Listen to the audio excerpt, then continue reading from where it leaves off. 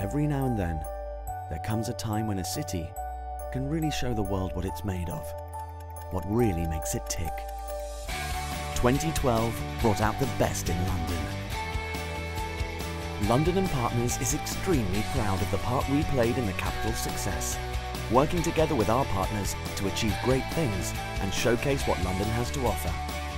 Our job is to promote London across the world on behalf of the Mayor of London, working closely with UK Trade and Investment, Visit Britain, London's boroughs, as well as more than 1,000 partners. To make sure London is on the map internationally, for investment, higher education, events and tourism.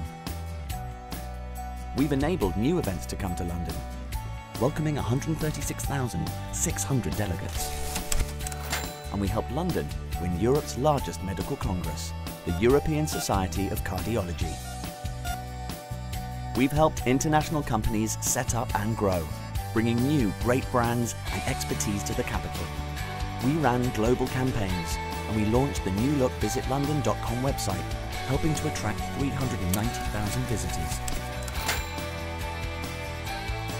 We promoted London's universities through studylondon.ac.uk and other international activities.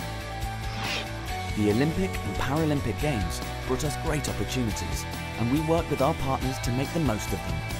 We delivered the Mayor of London's Games Time Business Programme, hosting 200 overseas business leaders wanting to build their business in London. And we organised and ran the London Media Centre during the Games, supporting 8,000 journalists and running 600 events. And we're supporting the Olympic legacy.